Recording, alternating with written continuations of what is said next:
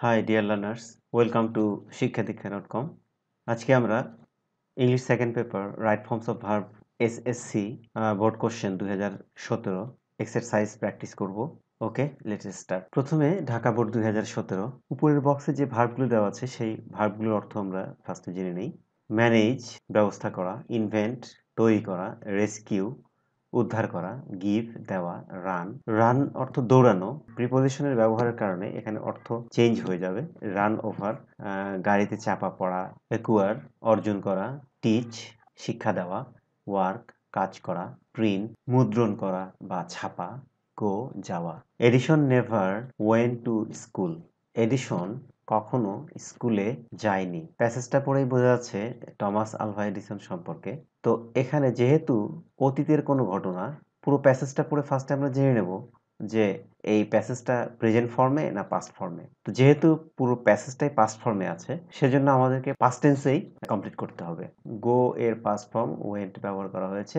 যেহেতু এটা অতীতের একটা ঘটনা, সেজন্য পাস্ট ইনডিফিনিট ফর্মে আমরা এখানে করেছি। Edison never went to school Edison কখনো স্কুলে যায়নি।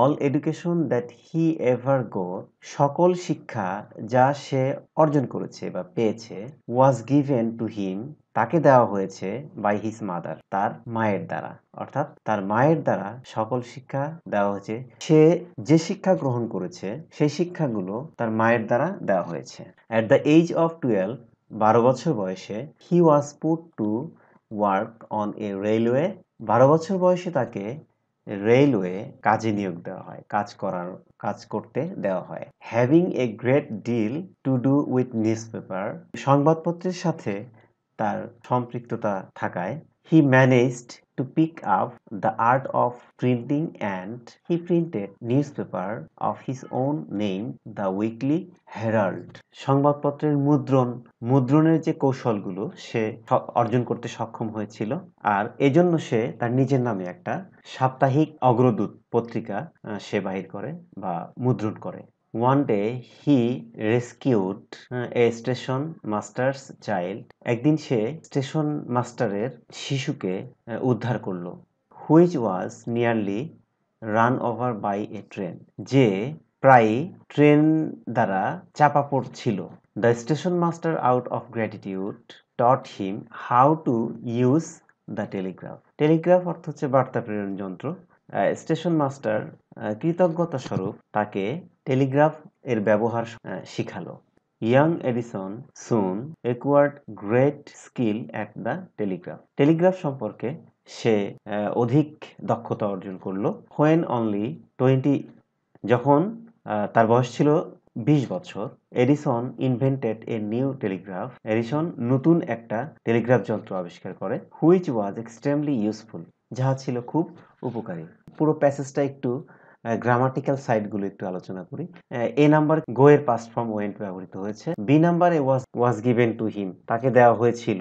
প্যাসিভ ফর্ম ব্যবহৃত হয়েছে। সি নাম্বার ওয়ার্ক আমরা জানি টু এর পরে ভার্বের বেস ফর্ম ব্যবহৃত হয়। টু ওয়ার্ক টু প্লাস ভার্বের বেস ফর্ম ডি নাম্বারে ম্যানেজ এটাও past indefinite E number the art of printing এখানে প্রিন্ট মুদ্রণ আমরা জানি প্রেপোজিশনের পরে ভার্ব এর সাথে আইএনজি যুক্ত হয় টু ব্যতীত। এখানে অফ আছে, তাহলে অফের পরে যেহেতু ভার্ব আসছে, তাহলে আমরা ভার্বের সাথে আইএনজি যুক্ত করে দিব প্রিন্টিং এফ নাম্বারও পাস্ট ইনডিফিনিট ফর্মে হয়েছে was nearly run over G number এটা প্যাসিভ ফর্মে run past participle form H number dot past indefinite ফর্মে আই নাম্বার একুয়ার্ড এটাও পাস্ট ইনডিফিনিট ফর্মে জে নাম্বার এটাও পাস্ট ইনডিফিনিট ফর্মে দেখা যাচ্ছে পুরো প্যাসেজটাই কিন্তু পাস্ট ফর্মে হয়েছে। রাজশাহী বোর্ড দুই হাজার সতেরো, ভার্বগুলোর অর্থ জেনে নিই আমরা। স্পিক বলা ইনাবল সক্ষম করা লিভ বাস করা সি দেখা বি মানে হওয়া চুজ পছন্দ করা গিভ দেওয়া